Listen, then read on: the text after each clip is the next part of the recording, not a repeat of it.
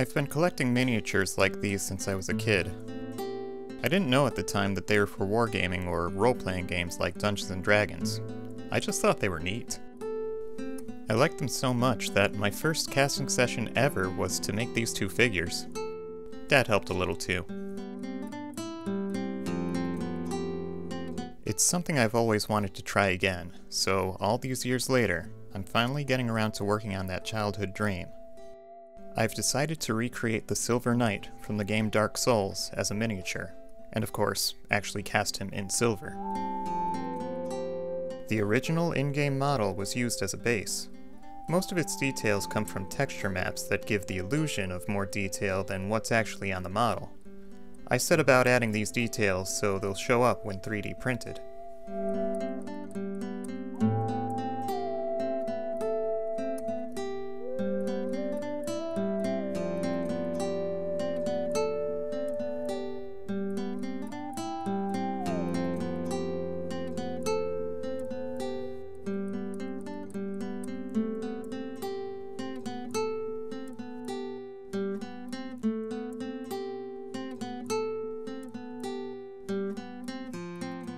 Here's a good side-by-side -side example of the low polygon game model compared to the details that I've added. The same was done for the rest of the model.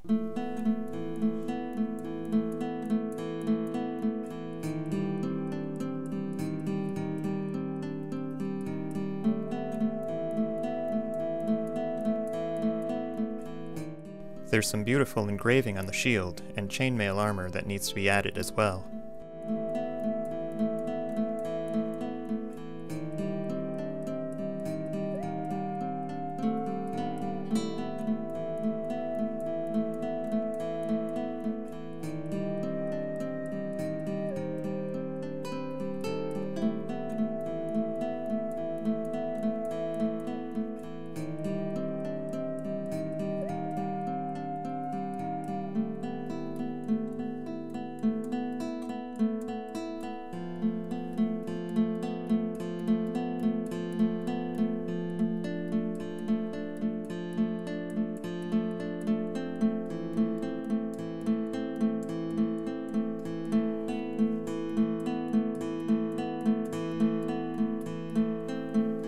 A test print was made and compared to another miniature.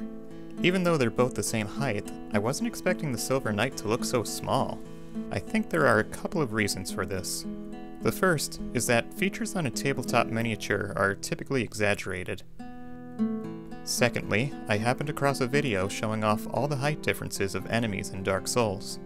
The Silver Knight stands a good two heads taller than the player's height, so I made him to scale.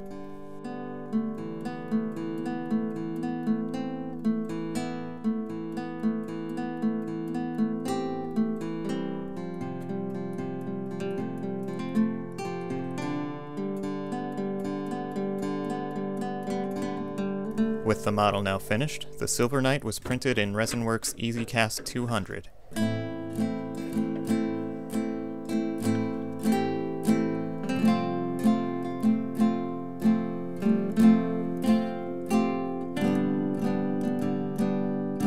He came out pretty great, but the shield did have a few grow lines in it that I'll have to polish out later.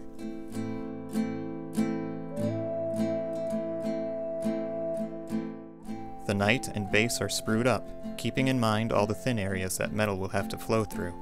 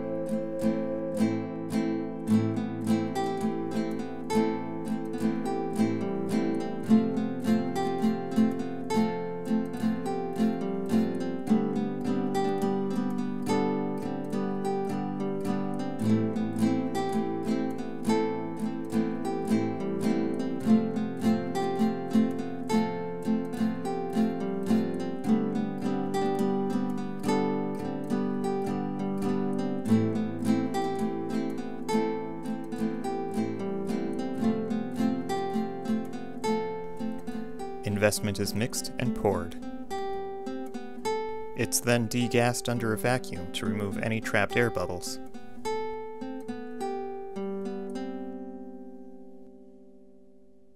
The flask is left to dry overnight.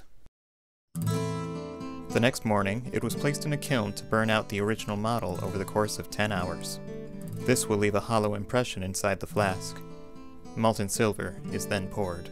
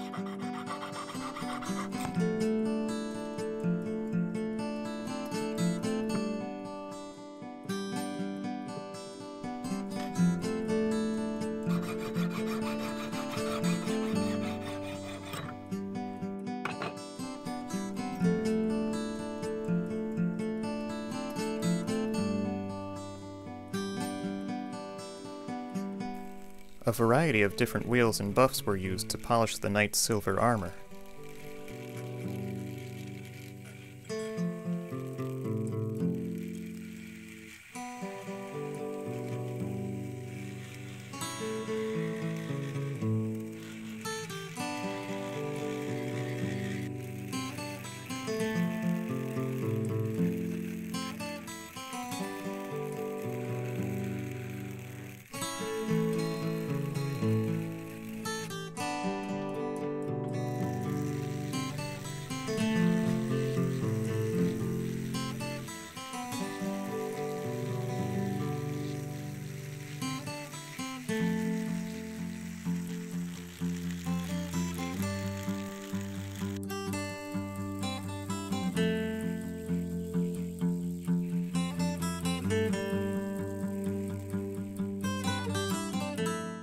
Tried using some silver black solution to add a black patina to the piece.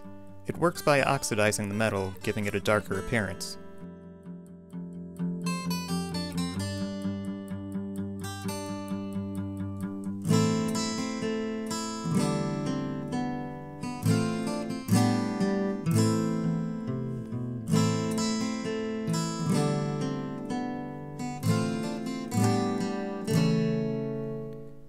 The antiquing solution looked great at first, but once dry it took on a dull gray color.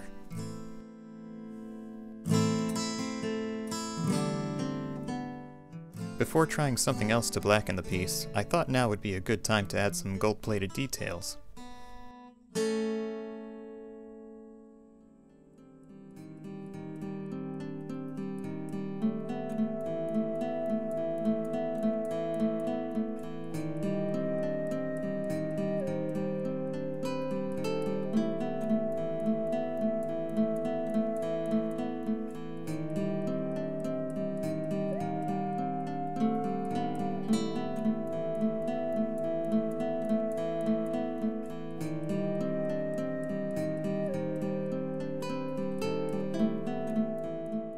With the gold plating applied, I went back and painted the areas that are supposed to be black with alcohol ink.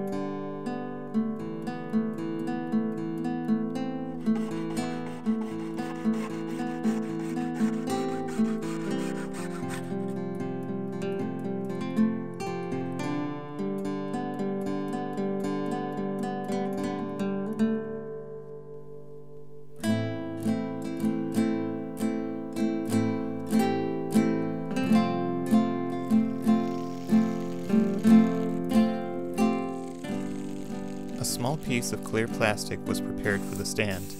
The back of it was spray painted black. This will give the top side a nice glossy finish.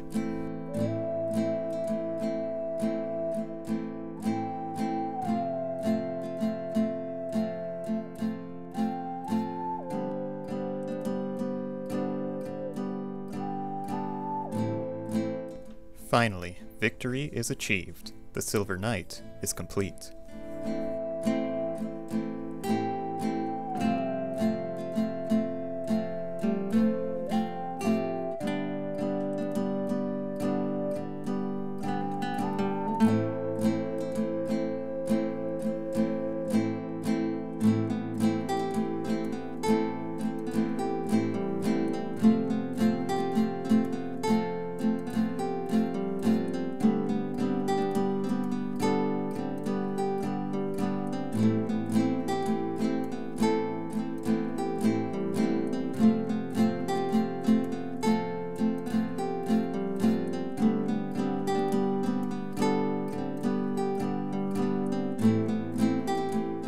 Hope you all enjoyed the video.